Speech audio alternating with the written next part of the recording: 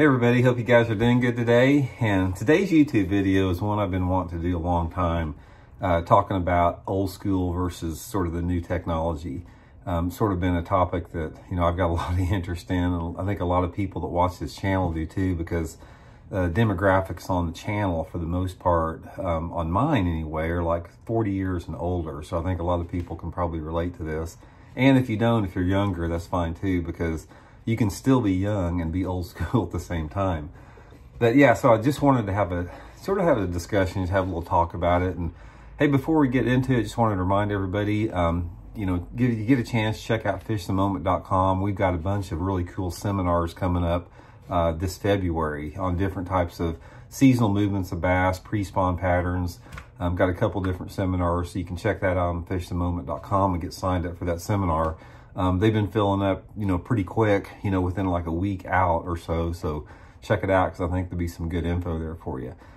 So anyway, let's talk a little bit about um, old school versus new school.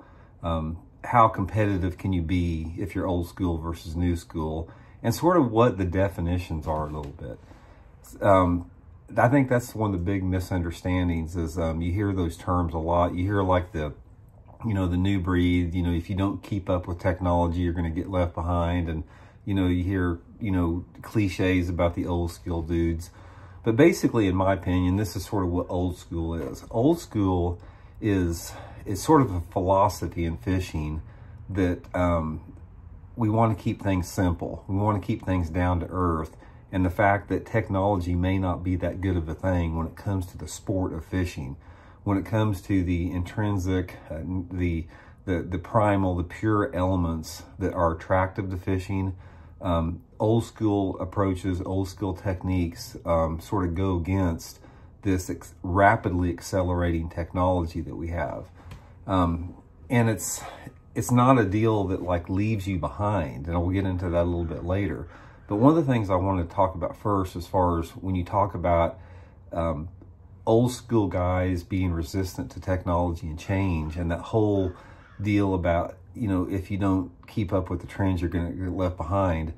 It's not the technology that is difficult to keep up with. That's not what we're talking about, but it's affording the technology.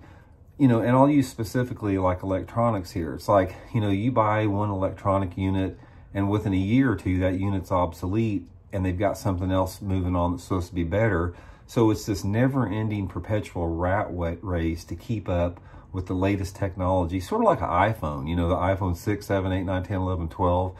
That's created on purpose, so you'll have to go out and spend more money, buy more things. So I think one of the big things that, uh, that a lot of the old school guys, you know, embrace is the fact they just don't want to get caught up in that rat, rat race. They don't want to have to get caught up in having to buy something new and spending thousands of dollars every 12 months once they get used to something they're comfortable with. And that's okay because here's the deal I want to tell you guys.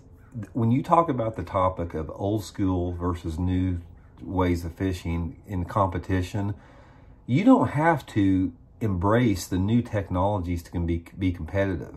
I want to clarify that right now. There's going to be a lot of situations that, yeah, if you don't have live scope, if you don't have, you know, you know, certain lures, certain you know, specific, you know, high-tech techniques, you may get left out from tournament, you know, some tournaments here and there, but you simply can, you don't have to have that to compete on a high level.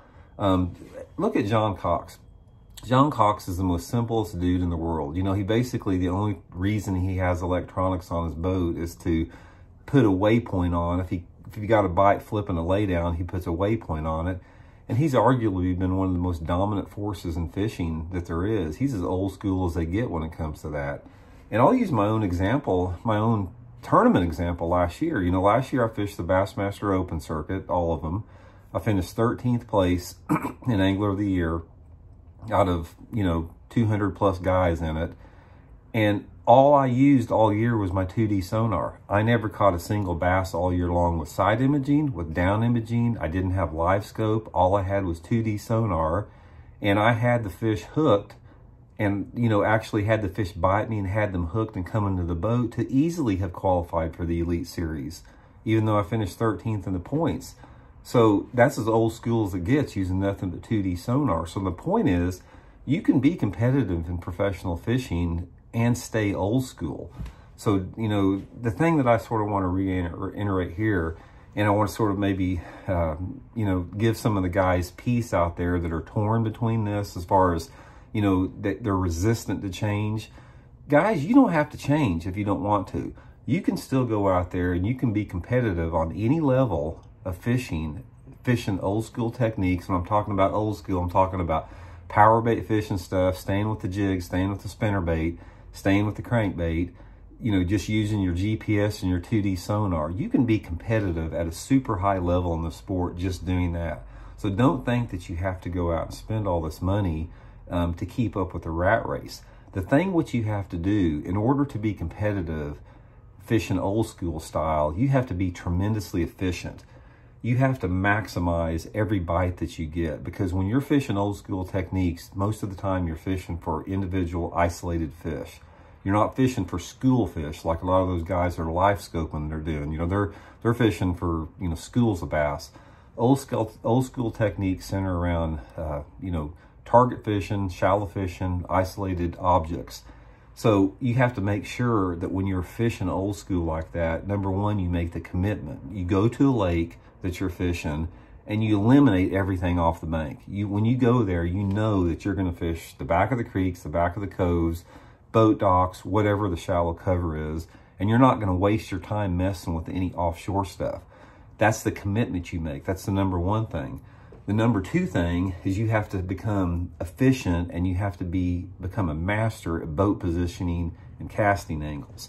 In order to maximize your efficiency in old school um, and compete with the, with the new tech stuff, you have to be able to have your boat control and such where you where you come into the cover at the perfect speed. You don't come in too hot, you don't come in too slow. You analyze the wind conditions, the sun conditions, you maximize your casting angle and boat position and to give you the best chance to catch that fish. And once that fish bites, you have to get that fish in the boat. You can't lose them. You have to maximize everything. That's how you compete uh, fishing old school techniques versus the new school. So, and I'm not out here, to, I'm not talking, I'm not out here saying that all the new technology, you know, all anyone that does this, I'm not saying that you're a bad person or you're a bad angler for doing that if that's the way you like to fish, great. I mean, if that's if you if you like to get out there and idle offshore, you know, for uh, you know half the day and fish for half the day, you know that that's fine. You know, go ahead and pursue that way of fishing. But um, the point is, is that both techniques can work, and both techniques can work highly efficiently.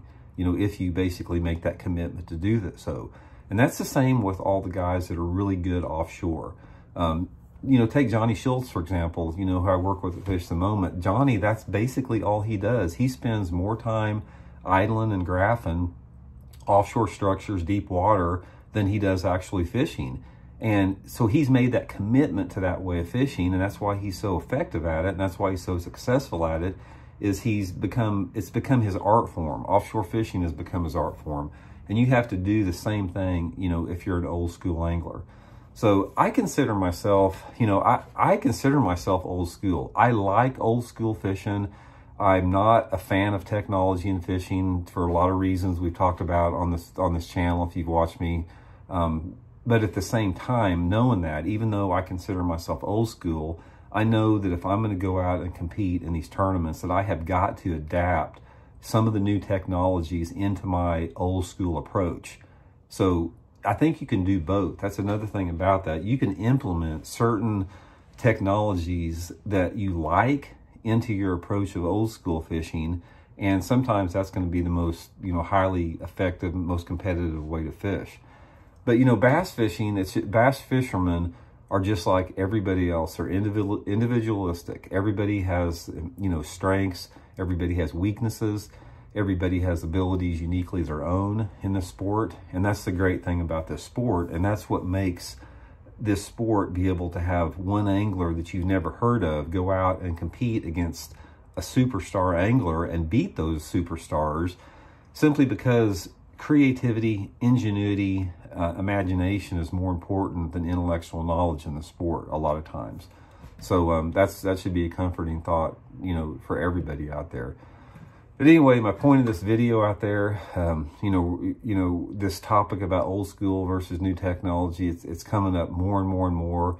And the point I want to make here is don't be ashamed, don't be embarrassed, don't feel like you have to apologize for being old school because in my opinion, it's admirable because old school anglers out there are traditionalists. You know, they tend to, you know, have, I think they have a little bit greater appreciation for the history of the sport and where we come from in a lot of terms and a little bit more nature awareness than that. So, uh, you know, there's room for everybody out there. There's room for the high-tech guys. There's room for the old school guys and everything's cyclical. You know, if you've watched my channel before, you know that I've made the prediction that I think that the old school techniques are going to start making more of a comeback the more that offshore dominates and the more that technology dominates because the last month, you know, I've been doing a lot of, in, of our on the water instructional lessons for Fish the Moment where I take guys out and we teach them specific techniques. And I've been fishing Table Rock and Stockton Lake a lot here in Missouri nobody is fishing the bank. Nobody is going down the bank just fishing. Literally, I have seen nobody the last month. Every single person I've seen fishing Table Rock Lake is out in, in 100 foot of water, trolling around in the middle of the creek, in the middle of the lake, looking down through live scope. Nobody's on the bank. What's going to happen is that is not something that's going to like work forever. You know, eventually those fish, fish are smart. They evolve to change. They evolve to pressure eventually those same untapped groups of fish that are getting caught now with live scope and forward-facing sonar, it's going to be a cycle again. Those fish are going to start moving back into the mid-depth, shallower ranges. That's my opinion and, my prediction on that. So we'll see how it goes. It's an, it's an interesting topic of conversation. But hey, anyway, guys, let me know. Are you old school? Are you new school? Throw out some comments here in the comment section. Let's get a conversation started. Um, I'm a I'm a proud old school dude. You know, I came from the old school. You know, I still flipping a big big black jig on 30 pound line is still my favorite way to catch them.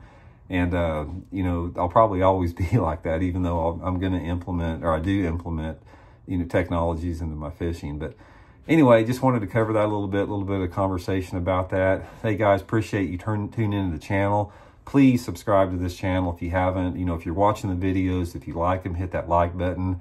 Um, and even if you don't like this channel, even if you watch it and some of the things that irritate you, you know, makes you irritated and question, go ahead and subscribe to the channel because at least I can provide some, you know, some, uh, something to gripe about once in a while if you don't like what I'm saying, if you get the notifications. Anyway, that's today's tip. Hope you guys are doing good. We'll check in later. See you.